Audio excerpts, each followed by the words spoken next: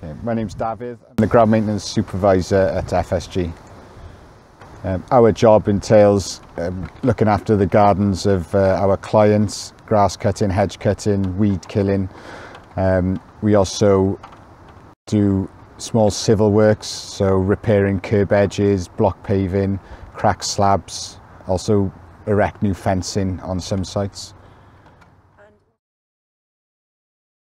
Typical day for us is that we come to the yard, we'll set the vans up to send two teams out on their way, one for ground maintenance works and another for small civil works. So today, for example, we went out um, to repair some sunken drains and some potholes.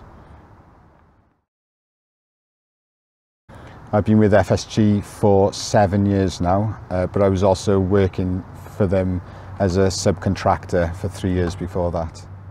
Since I've been at FSG, I've had uh, some training in um, herbicide application. I've also done MEWP training, which is use of cherry pickers and scissor lifts, um, and also some training in PASMA, which is uh, setting up scaffold towers. Working for FSG is very enjoyable. The people here are extremely friendly and very supportive. There's also lots of uh, scope for improving with extra training involved. Since I've been here, I've been on four or five different training courses.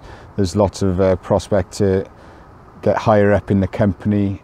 And I would encourage anyone considering a career in facilities management, get in touch with our HR department.